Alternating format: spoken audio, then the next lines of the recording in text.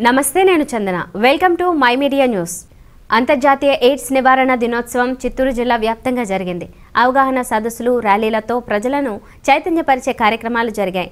ఇందులో భాగంగా శ్రీకాళహస్తిలో మండల న్యాయ సేవా అధికారుల సంఘం స్టెప్స్ సంస్థలు సంయుక్తంగా ఎయిడ్స్ నివారణపై అవగాహన సదస్సులు నిర్వహించాయి. స్థానిక ప్రభుత్వ హాస్పిటల్ ప్రాంగణంలో జరిగిన సదస్సులో ప్రసంగించిన వక్తలు ఎయిడ్స్ నివారణ కొరకు మరింత ప్రచారం చేయాల్సిన అవసరం ఉందన్నారు.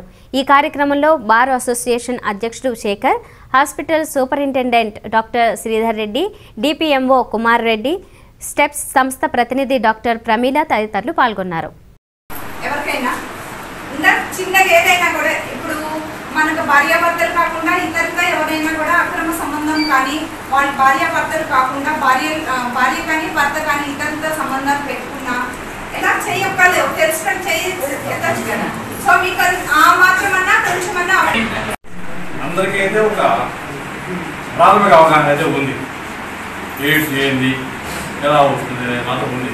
కానీ దాన్ని చెప్పుకోవడానికి కొంత సంతోషిస్తారు ఎయిడ్స్ ఎలా వ్యాపిస్తుంది అనేది.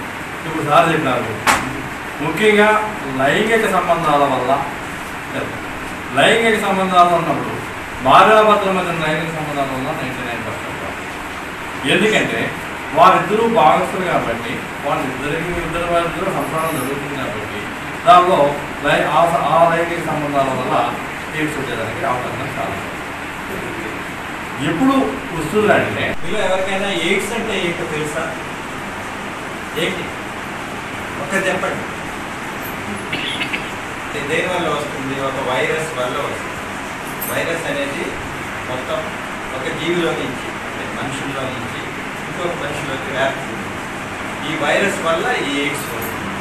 ఈ వైరస్ ట్రాన్స్మిషన్ ఎట్లా అవుతుందంటే లైంగికంగా ముఖ్యంగా తర్వాత బ్లడ్ ద్వారా వస్తుంది. మనం అంతటా మనమే అంటించుకోవడం చెప్పాలన్నమాట. ముఖ్యంగా అందరూ చెప్పారు దేనివల్ల వస్తుంది దేనివల్ల రాదు.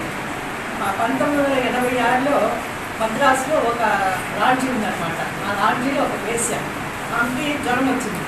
జ్వరం వచ్చిన తర్వాత అన్ని టెస్టులన్నీ చేయించారు మందులు ఇచ్చారు. ఏమి ఇచ్చినా కూడా అది తగ్గలేదు. మనిషి రోజు రోజు తగ్గిపోతా ఉంది.